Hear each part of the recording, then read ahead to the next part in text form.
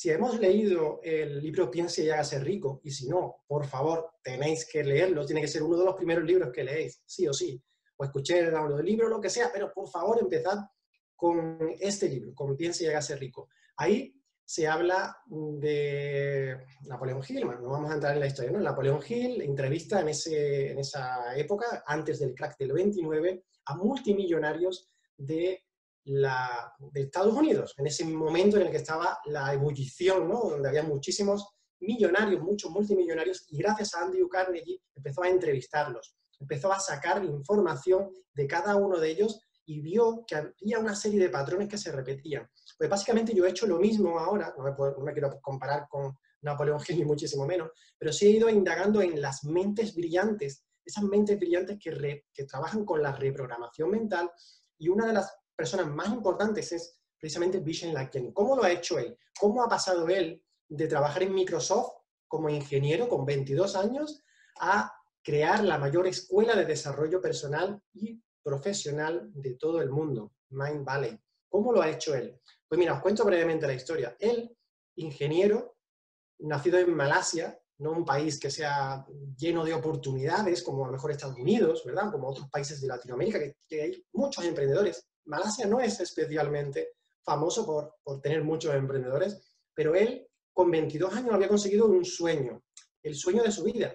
Estaba trabajando en Microsoft y apenas unos días después de comenzar a trabajar ahí, tiene la gran fortuna de, que se celebraba en la casa, en la mansión de Bill Gates, se celebraba una ceremonia que hacían cada año para los nuevos, los noveles, ¿no? esas personas que estaban comenzando en Microsoft.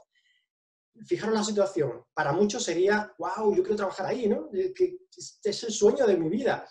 Sin embargo, para él se encuentra con Bill Gates en su mansión, se encuentra en una situación idílica para muchos, pero él lo único que piensa es, ¿qué estoy haciendo con mi vida?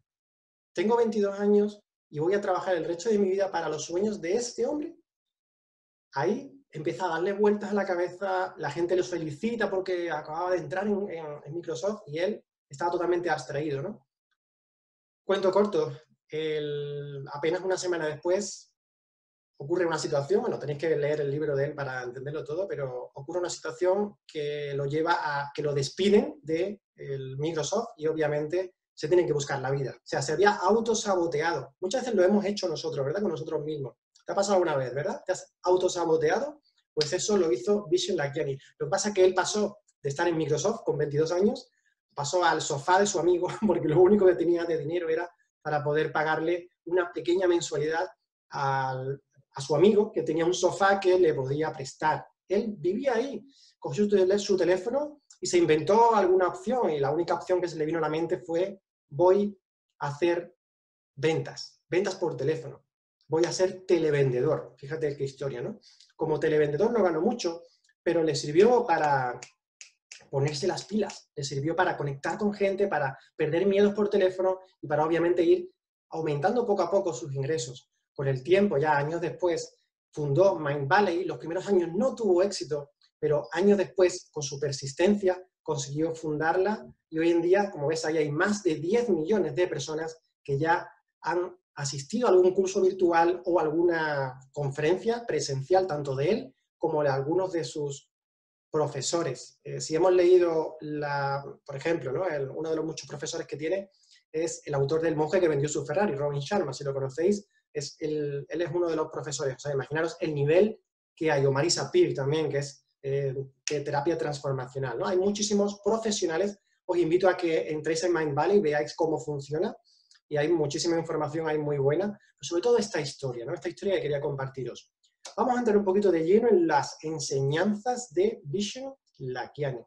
Todos tenemos en casa una mesa, ¿cierto? Una mesa de madera, como por ejemplo esta. Vamos a ver qué similitud hay entre una mesa como esta y vuestra mente subconsciente, ¿ok? Vamos a decir un ejemplo. Digamos, imaginemos que esa tabla, esa tabla horizontal, son las ideas, las ideas que están en tu mente. Imagínate si debajo de una idea ponemos una sola pata, opiniones, opiniones de los demás. No, pues yo opino esto, yo opino esto. Obviamente la mesa se va a caer. No es muy sostenible. Si fueran dos las patas que ponemos debajo de esta tabla, dos mm, opiniones, opiniones, opiniones, opiniones, opiniones, llega un momento en que ya se convierte en creencia. Ya te empiezas a creer algo cuando te lo han repetido muchas veces. ¿Te ha ocurrido, verdad? Pues esto es precisamente lo que ocurre también en tu mente. Cuando sigue repitiéndose, sigue repitiéndose, sigue repitiéndose, se crea una convicción. Tú seguro que ya estás convencido o convencida de algo determinado. No sé si estás convencido o convencida de que no sirves para tal o cual cosa, o a lo mejor te has autoconvencido de que tú no eres bueno para cantar o no eres bueno para el internet, sea lo que sea, te has autoconvencido por la repetición. Pero si sigues programando, escuchando a ciertas personas o no escuchando a ciertas personas también que están en otra vibración como estamos nosotros, se va a cristalizar en tu mente algo que se denomina una impronta, o lo que es lo mismo, algo muy difícil de quitar de tu mente. Es muy complicado que una convicción o una impronta la podamos desprogramar. Una opinión es fácil, tú cambias de opiniones todos los días. Una creencia se puede hacer, pero una convicción o una impronta no es tan sencillo. Por lo tanto, ten en cuenta que esa mesa de tu mente subconsciente, ese ejemplo de metáfora es muy bueno para que se quede, se retenga, se ha creado gracias a lo que te dijeron tus padres, a lo que te dijeron tus hermanos, a lo que te pasó en los primeros siete años de tu vida. Vishen Lakiani habla en su libro, lo divide en cuatro fases, en cuatro niveles, vamos a hablar el primero, brevemente, porque son cuatro niveles y sería muy extenso, pero vamos al grano para que veáis con las semillitas de este libro. Primero es tu mundo, el, mundo a tu alrededor, el nivel 1. Todos nosotros, los primeros siete años de vida, nos han dado opiniones, esas que veíamos antes en la, en la mesa. Nos han dicho cosas, nos hemos llegado a creer ciertas cosas y hemos creado nuestro mundo alrededor de lo que hemos escuchado o de lo que hemos tocado, lo que hemos comido, de lo que hemos visto en los primeros siete años de nuestra vida. Nuestro mundo alrededor nuestra se ha creado como nuestro espacio cultural, sea cual sea tu espacio cultural, es perfecto. Eso es lo primero que hay que aceptar. Sea cual sea, sea de, vengas de donde vengas, tanto si has vivido en, en el Bronx y has tenido una infancia muy complicada, o si has sido una persona muy feliz en los primeros años de tu vida, sea cual sea tu situación, es perfecta tal y como es. No tienes que cambiar tu pasado porque no puedes, pero sí puedes empezar hoy a trabajar hacia tu futuro. El nivel uno es simplemente tomar conciencia de ese espacio cultural en el que te has sido creado. El nivel dos ya es el despertar, el mundo que tú eliges. Cuando comenzamos a leer libros, cuando comenzamos a conectarnos con masterclass como esta, cuando comenzamos a, estudiar esos libros que tenemos en Golden State Pro, cuando empezamos a, hacer los cursos que están dentro, cuando empezamos a ver películas, como yo el otro día que vi la de Piense y hágase rico, la película que está en nuestra plataforma de Golden State, imagínate cómo empieza tu mente a cambiar, porque te das cuenta de ciertas cosas que no quieres y de ciertas cosas que sí quieres. Empiezas a despertar, empiezas a, en ti a, a ver un deseo ardiente, como dice Napoleón Hill, y empiezas a, no sé, no sé si te ha ocurrido ya, ¿no? Seguramente en la sala hay personas que ya están en este nivel 2 y que han comenzado a despertar, a lo mejor a raíz de un libro, a lo mejor a raíz de, una, un seminario, de una conferencia, de una masterclass, sea lo que sea, algo le ha hecho clic y ha comenzado a como a, uy, darse cuenta de, estoy en la Matrix, lo reconozco, pero ahora quiero salir de aquí. ¿Qué tengo que hacer para salir de aquí? Empiezo a formarme, empiezo a capacitarme, empiezo a rodearme de personas que tienen el nivel que yo quiero, etcétera, etcétera. Ahí empieza a trabajarse, la persona empieza a trabajar hacia su nivel 3, que es el mundo interior. El mundo interior es muy rico y el mundo interior es también, está lleno de, muchas raíces. ¿eh? Imagínate un árbol, un manzano, por ejemplo, lleno de muchas raíces y muchas de esas raíces no son tan buenas para llegar donde queremos llegar. Muchas están podridas, muchas huelen mal y muchas hay que erradicarlas para que te permitan recodificarte, tal y como dice Vishen Lakiani. Recodificación del ser es este nivel 3. Es comenzar ya a pasar a la acción, no solo leer, como hacíamos en el nivel 2, o ver vídeos, no solo darnos cuenta del, que estamos despertando, sino ya pasar a la acción y tener resultados. Ese es el nivel 3. Tu mundo interior es muy rico, ahora tienes que alinear ese mundo interior con tu propósito de vida para ir en la misma sintonía, si no va a ser muy complicado. Yo quiero ser, yo quiero llegar a esto, yo quiero tener, pero sufres. ¿Qué sentido tiene? Si ya tú vibraras, como en el, en el nivel 4, si ya tú vibras con, esto que ahora, por ejemplo, Adner está creando con Golden State, que todos estamos formando parte de esta familia, qué bonito, porque ya estamos siendo un poquito extraordinarios. ¿Me seguís? O sea, la clave de todo esto es darnos cuenta que hay que trabajar a, a nivel interior. Sin embargo, cuando no tiene por qué ser complicado, no tiene por qué ser difícil, cuando estás alineado con tu propósito de vida y todos los días vas haciendo cosas, pasos hacia ese propósito de vida, tu vida es magnífica, tu vida es extraordinaria, no tienes que sufrir, no tienes que trabajar mucho para ganar dinero y todas estas cosas que nos dijeron, que te dijeron y que se quedaron programadas en tu mente. Vamos a cerrar esta primera parte con Vision con tres cosas. Una, algo que recordar. Acuérdate de estos cuatro niveles, de estas cuatro fases, identifica dónde estás y hacia dónde vas y qué necesitas para llegar a ese siguiente nivel. Algo que sentir. Voy a compartiros una frase de él que es, Creo que es posible que gente corriente decida ser extraordinaria, de Vishen Lakiani. Esta frase es muy potente y a la vez te da una certeza de que tú, que eres una persona corriente, como todos los que estamos aquí en esta sala, podemos ser extraordinarios, podemos ir hacia ese mejor vida, esa, vida que sea la vida de tus sueños. No tienes por qué querer un Ferrari o una mansión, no sé cuáles son tus sueños, pero sea cuales sean, se pueden lograr. Solo hay que saber cómo llegar ahí. Y algo que hacer de las tres fases sería el cómprate el libro del Código de las Mentes Extraordinarias, consíguelo como sea. Seguramente lo vamos a tener muy pronto en Golden State también, en PDF, pero si lo quieres, yo soy de, leer, de subrayar, de escribir en el libro, en papel. Si lo quieres en papel, cómpratelo, empieza a trabajarlo porque hay mucha información muy buena, te lo recomiendo totalmente. Es uno de los mejores libros que pueden ayudarte a reprogramar tu mente. Vale, no sé si hay alguna pregunta hasta aquí o dejamos las preguntas para el final. Adner, ¿cómo hagamos? ¿Hay alguna pregunta o lo dejamos para el final? Como queráis. ¿O sigo? Yo creería que las preguntas las dejamos al final, David, con eso que eh, tomen nota y al final de pronto ya las vayan dejando a través del chat y yo las leo para que las respondas, ¿te parece? Perfecto, pues ir anotando las preguntas si tenéis alguna y al final me machacáis de, dudas, ¿vale? Todo lo que pueda vale, aportar lo haremos así. Perfecto, vamos con la segunda persona entonces. T. Arf Ecker. Esta persona en 2007 cambió mi vida para siempre. Y no quiero que suene atópico, sino que realmente cuando leí Los secretos de la mente millonaria, tomé una decisión y era dejar mi trabajo. Tenía un trabajo fijo, tenía un ingreso bastante considerable y tomé la decisión de dejarlo todo para tirarme un año sabático para ver qué hacía con mi vida, porque no tenía ni puñetera idea de para dónde iba. Estaba ganando dinero, pero no era feliz. Estaba ganando dinero, pero no tenía amigos. Estaba ganando dinero, pero no sabía cuál era mi propósito de vida. Gracias a este libro lo encontré. Y no sé si tú cuando leas este libro vas a encontrar tu propósito de vida, pero sí te voy a compartir hoy información que yo extraje de este libro que es realmente muy poderosa. Él, Tiaf Ecker, nacido en Canadá, con 30 años ya había montado 17 negocios. Pasó de tener, o sea, pasó de 2.000 dólares a millonario en menos de 3 años. Te voy a compartir su historia, muy poderosa.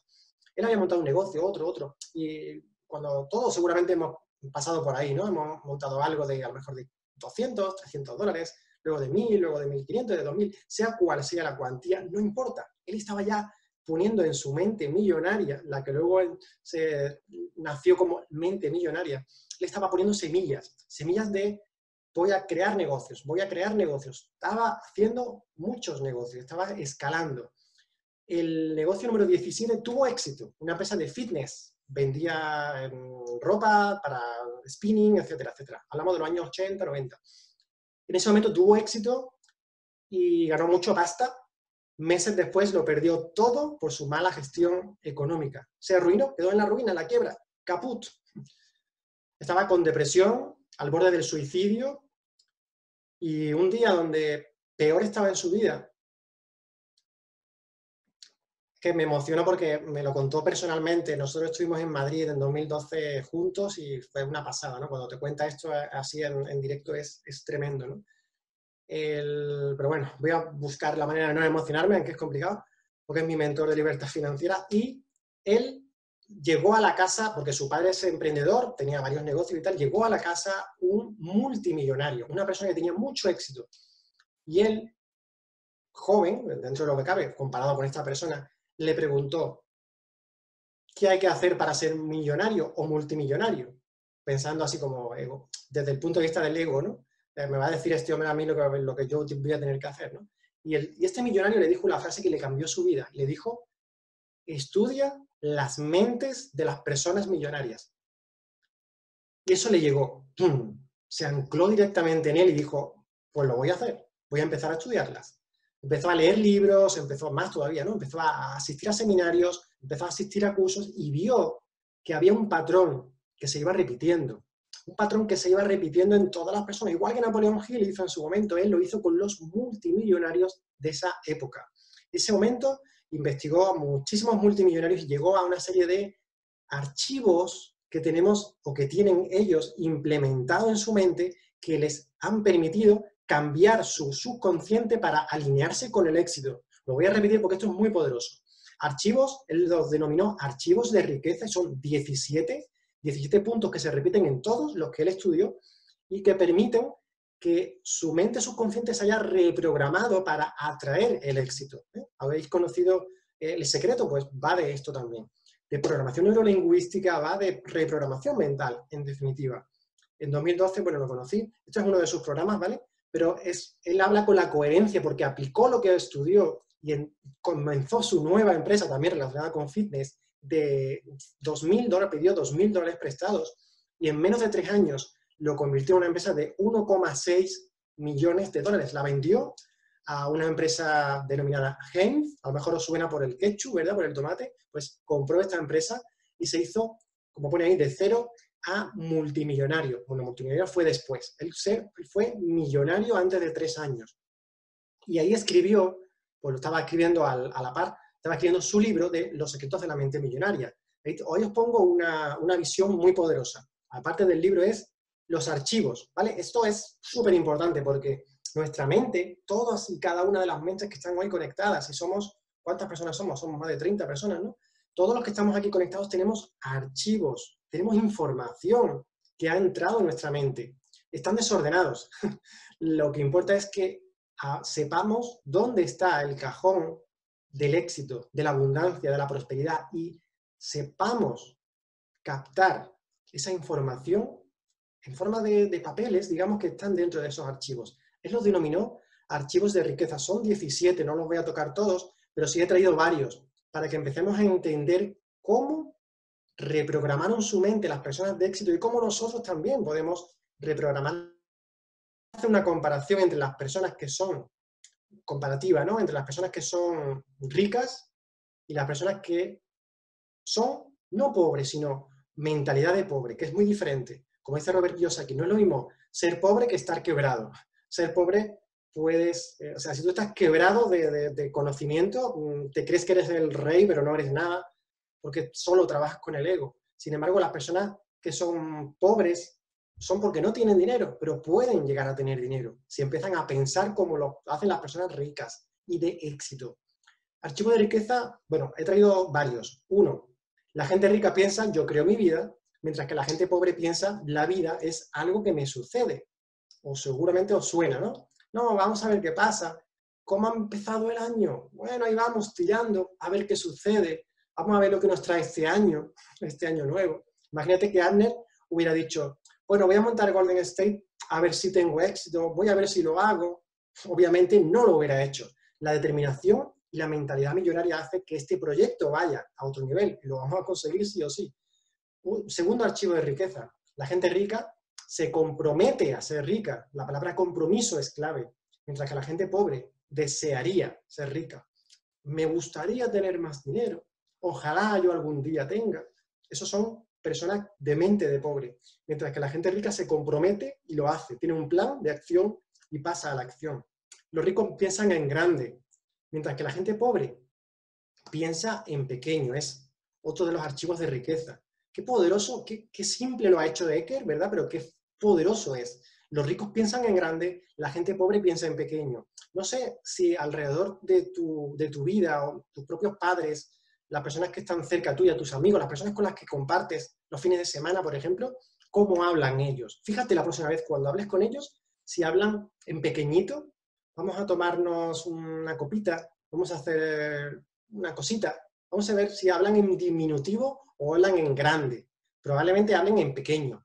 Entonces, júntate con personas que hablen en grande y deja de estar con esas personas que hablan en pequeño, porque las personas que hablan en pequeñito tienen una mente pequeñita, no de cerebro, pueden tener un cerebro muy grande, pueden tener una cabeza súper grande, como si fuera, te digo yo, un extraterrestre, pero puede que el cerebro que estén usando es ínfimo. Por lo tanto, rodéate de, de que piensa en grande, rodéate de gente que haga las cosas en grande.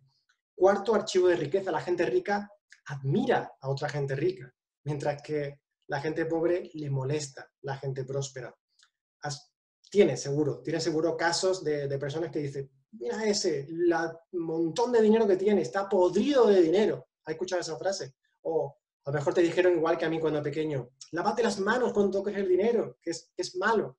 O el, dinero es, el dinero hace peor a las personas. O yo prefiero ser pobre pero honrado. Fíjate esas, esas palabras te programaron la mente.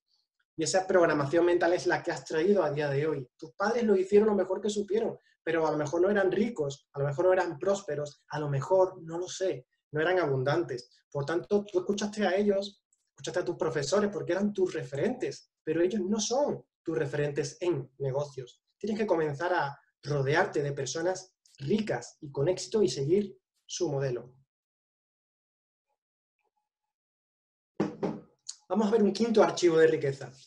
Los ricos están dispuestos a promocionarse ellos mismos, mientras que los que piensan de forma negativa, referente, o sea, los pobres piensan de forma negativa referente a la venta y a la promoción. Hemos visto durante toda esta semana las presentaciones de Golden State. Todas las semanas están saliendo, cada día hay presentaciones de negocio, hay está ese banner, la foto de, de Adner, están las fotos de los otros compañeros, estaba la foto mía para promocionar esta masterclass. ¿Por qué? porque sabemos que las personas que tienen mente millonaria están dispuestos a promocionarse ellos mismos, mientras que las otras personas van a decir, van a pensar, mira, ya está Adner ahí poniéndose en el banner, mira, ya se cree que es mejor que otros, mira que, sin embargo, esa es la mente que te está matando, esa mente de pobre es la que te está matando. Comienza a pensar, yo quiero ser el siguiente que esté en ese banner, yo quiero ser el siguiente que imparta una masterclass, o yo quiero ser el siguiente que sea reconocido en, la empresa para, porque he vendido más que ningún otro. No sé, sea cual sea tu reto, proponte promocionarte a ti mismo, porque eso es lo que hacen las personas ricas y con éxito, trabajan desde aquí. Los ricos piensan las dos cosas, mientras que los pobres piensan o esto o esto. Hay personas que son, que tienen mente millonaria que están pensando, yo quiero, yo quiero ser rico y honrado, yo quiero ser rico y un buen dador, yo quiero ser rico para tener prosperidad y abundancia en mi vida y también para poder compartirle a más personas, porque quiero hacer una ONG, o sea, cual sea tu sueño. Lo que importa es que los, pienso, los ricos piensan las dos cosas, mientras que los pobres piensan, no puedo tener esto y esto también, porque si no, se lo estoy quitando a otro que tiene. No sé, esa mente, esa mentalidad de carencia que es la que les ha traído al, al día de hoy, no les está permitiendo ser ricos, en, sobre todo en, en mentalmente. Todo empieza aquí. Los ricos, la última es esta, los ricos aprenden y crecen constantemente, mientras que los pobres piensan que ya lo saben todo. Los ricos se forman, invierten muchísimo dinero en ellos mismos, en formaciones, en capacitaciones, en cursos, en masterclass como esta. Te agradezco tu tiempo porque estás conectado a la, mm, a la fuente. Esto es importante que sepamos. Es importante que sigamos aprendiendo, que sigamos formándonos, que sigamos cada mes leyendo nuevos libros, eh, escuchando nuevas frases importantes y que estemos conectados con el éxito. Mientras que las otras personas simplemente dicen, yo eso ya lo sé, ya lo sé. Son las tres palabras que matan al ser humano. No sé si tú estás muy acostumbrado a decir ya lo sé, pero que sepa que son las tres, las tres palabras que matan al ser humano. Algo que recordar, vamos a acordarnos de ese archivador, como igual que tu mente, un archivador donde mm, tienes que meter la información, saca los papeles que no te sirvan y empieza a meter los que realmente sirvan y ordénalos en ese orden, valga la redundancia, que sea de mayor a menor. Yo quiero este sueño, después tengo este sueño, después tengo este, y pon tu plan de acción en un lugar donde sepas que está. Porque si lo pones al final, en el último cajón, debajo de los otros papeles, al final no lo vas a conseguir, no te vas a acordar y vas a caer en la inercia de esa carrera de ratas. Algo que sentir puede ser rico o tener razón, pero no las dos cosas. Os comparto esa frase poderosa de que es una de las frases que más me gusta. Puede ser rico o tener razón, pero no las dos cosas. Esto quiere decir que hay gente que dice, no, no, no, esto es así porque yo lo digo, porque yo llevo razón. Vale, pues mm, que siempre dice, vale, pues venga, para ti la razón, pero yo me voy riendo al banco, ¿no? yo prefiero ser millonario a tener razón. Prefiero que tú tengas la razón. Y algo que hacer, te animo, si no lo has hecho todavía, a que leas Los secretos de la mente millonaria. Muy poderoso libro que te puede transformar tus patrones mentales. Vamos al siguiente. Cerramos con Joe Dispensa. Bueno, Joe Dispensa, permitidme que beba agua. Joe Dispensa es para muchos conocido y para muchos lo, amamos. Lo amamos porque tiene una historia impresionante porque es uno de los neurocientíficos más prestigiosos del mundo. Él sufrió un, accidente con un camión eh, con 24 años. Un camión directamente le atropelló cuando iba con su bicicleta, lo tiró de la bicicleta, salió volando y cayó de espaldas, se fracturó seis costillas y muchas de las astillas de su, propio, de su propia la clavícula y de diferentes costillas y tal, se incrustaron en su médula espinal. Eso le provocó un, daño muy importante, casi no podía moverlo para llevarlo al hospital. Pero imaginaros, la columna vertebral, la médula espinal que está dentro, eh, tenía astillas, o sea, es tremendo, ¿no?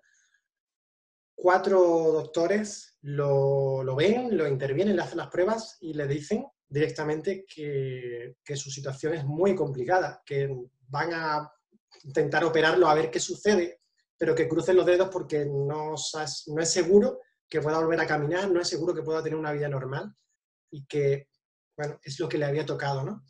Él, que en ese momento estaba estudiando neurociencia, le dijo, no, no me voy a operar.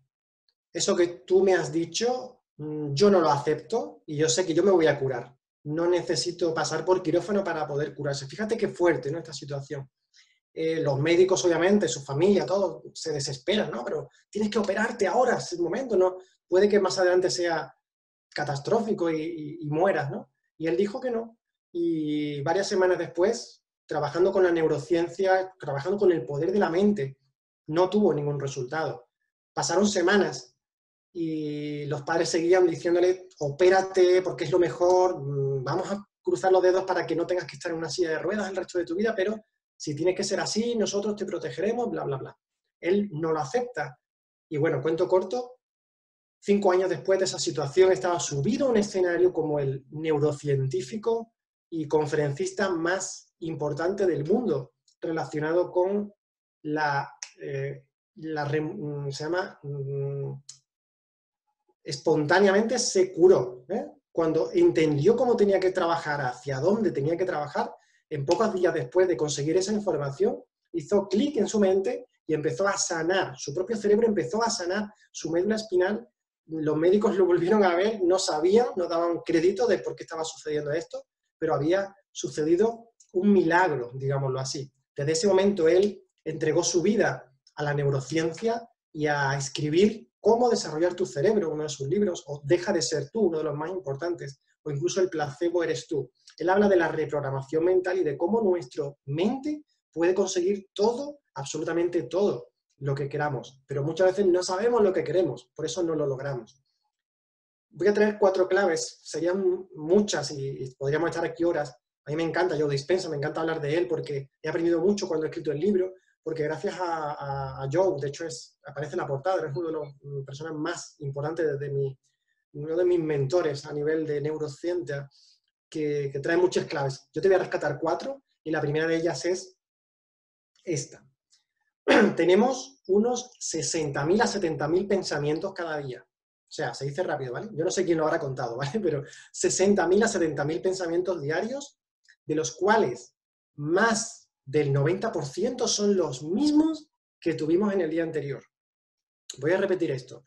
De los 60 a 70.000 pensamientos que tenemos cada día, más del 90% son los mismos pensamientos que tuvimos el día anterior.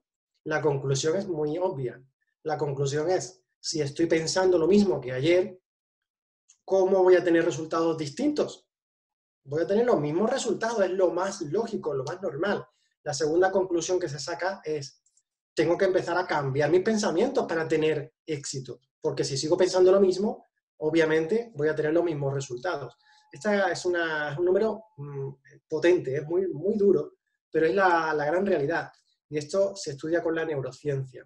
La clave número dos, deja de ser tú. Mira, cuando yo leí esto, el libro es tremendo, es muy poderoso, La mente crea tu realidad.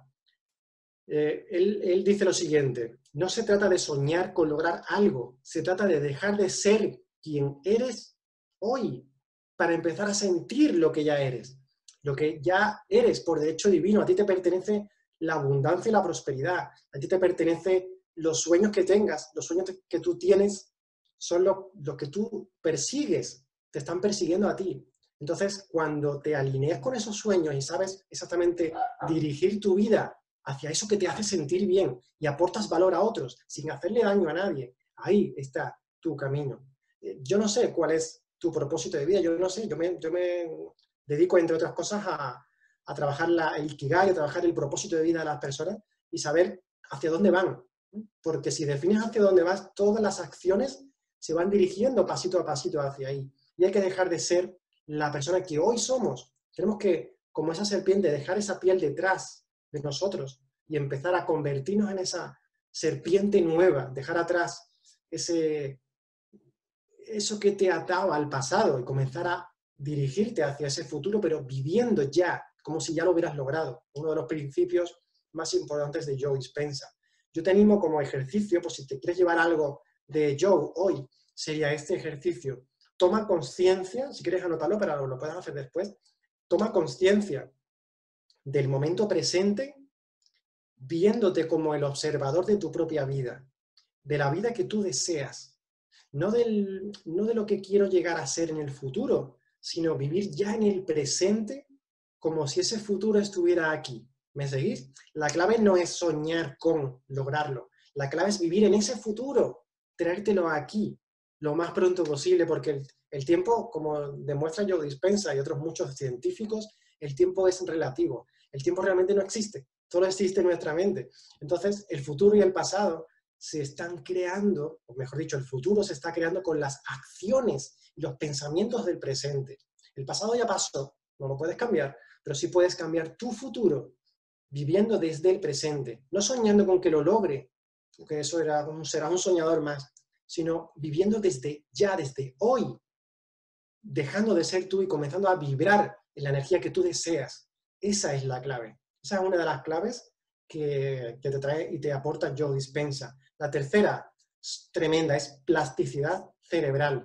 ¿Sabías que tú tienes el poder de transformar tu propio cerebro? ¿Tú tienes el poder de crear nuevas neuronas? ¿Sabías esto? Y tienes el poder de de crear entre neuronas hay una, hay una cosa que se llama dendritas, son como la conexión entre las neuronas. Pues tú tienes la posibilidad de poder activar o desactivar esas dendritas según lo que tú estés pensando en este momento preciso. Por tanto, como decíamos antes, de 60.000 a 70.000 pensamientos son los mismos. ¿Cómo vas a cambiar tu vida si sigues pensando igual? Comienza trabajando desde la plasticidad cerebral. Hay mucha información en el libro de Joe, pero te dejo con esto cuando ya no piensas, crees y sientes de la misma forma, tu química biológica y neurológica cambia. Esto en resumidas palabras, por no hacerlo tan complicado, sería algo así como tú tienes el poder de cambiar tus pensamientos para cambiar tus emociones, para cambiar tus resultados.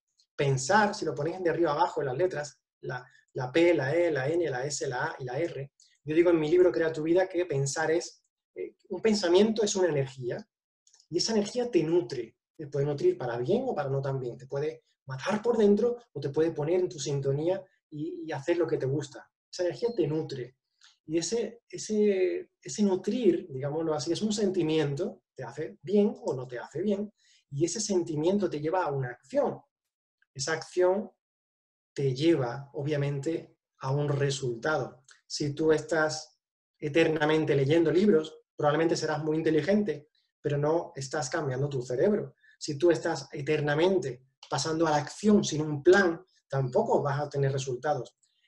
Se requiere de algo más y empezar a pensar conscientemente es una de las claves para el éxito según Joe Dispensa. Cambias tu cerebro gracias a ese poder que tenemos todos de plasticidad cerebral. Y la cuarta y última clave es esta. Hazte preguntas que activen tu lóbulo frontal. El lóbulo frontal lo tenemos justo aquí, ¿vale? Si nos ponemos así, pues justo aquí el, el cerebelo está detrás, pues el lóbulo frontal está aquí. El, se activa haciendo preguntas tales como, por ejemplo, esta. ¿Cómo puedo lograrlo? Hay muchas personas que se están cuestionando, ¿podré hacerlo? El podré hacerlo te pone en una dicotomía, sí o no. ¿eh? Todos sabemos en ventas, en neuroventas, que, eh, si no lo sabemos, pues hago un resumen de esto. Si tú haces una pregunta cerrada, que tenga un sí o un no a una persona que te puede comprar algo, lo estás poniendo en la opción del sí o del no. ¿Quieres que, imagínate, ¿te ha gustado? Pues te puede decir sí o no. Sin embargo, si le dices la tercera pregunta, ¿no? ¿Qué fue lo que más te ha gustado cuando hacemos la presentación de Golden State? ¿Qué fue lo que más te gustó? Eso, eso, esa frase provoca en el cerebro de la otra persona que se active su lóbulo frontal. Entonces está buscando una, de todas las opciones está buscando la respuesta, por ejemplo, la roja, o la verde, o la amarilla. Imagínate que están seleccionando una pregunta. Si le preguntas, ¿te gustó? Te puede decir, pues no. ¿Cómo le levanta ese no? Es difícil esa, rebatir esa objeción. Sin embargo, si le preguntas, ¿qué fue lo que más te gustó? Te va a decir algo que más le gustó, pues entonces sigue por ahí, sigue por esa línea. ¿Cómo puedo lograrlo? Es una pregunta muy poderosa, porque te hace pensar de todas las opciones posibles, ¿cuál es la mejor opción? Eso te pone en acción. La segunda pregunta, por ponerte tres de muchas, ¿qué necesito para conseguirlo? ¿Qué necesitas hacer? Si yo quiero lograr esto, si mi plan de acción es llegar aquí, ¿qué necesito hacer para llegar ahí? Si quiero ser un buen orador, ¿qué necesito hacer? Pues me tendré que apuntar a un club de oratoria, yo hice eso, me tendré que, tendré que aprender libros de neurociencia, tendré que aprender más cómo funciona el cerebro, tendré que aprender cómo funciona el Zoom. A lo mejor muchos de nosotros no, no han entrado a la hora porque no sabían utilizar el Zoom. Pues, ¿qué necesito hacer para ser un líder de éxito? Aprender a utilizar herramientas como esta, videollamadas como esta. Imprescindible que te preguntes preguntas que te hagan activar tu lóbulo frontal. ¿Qué necesito hacer? Te pone en la sintonía de la acción. ¿O qué fue lo que más te gustó cuando terminó una presentación? ¿Ok? Vale, algo que recordar, tres cositas. Una, acuérdate de, ese cerebro que tú tienes el poder de estrujar. Eso es muy visual, lo vas a recordar seguro. E, ese algo que recordar sería, tú tienes el poder de moldear tu propio cerebro gracias a la plasticidad cerebral. Lo segundo es una frase de Joe Dispensa. Tu mente crea tu realidad. Tremenda frase que seguramente la habrás escuchado, pero hasta ahora tal vez no la hayas interiorizado. Tu mente crea tu realidad. Vive en el momento presente como si ya lo existiera para crearlo, para que sea más rápido. Y algo que hacer, te dejo con uno de sus libros, tiene muchos, pero este es uno de los más importantes. Deja de ser tú, de Joe Dispensa, la mente crea la realidad.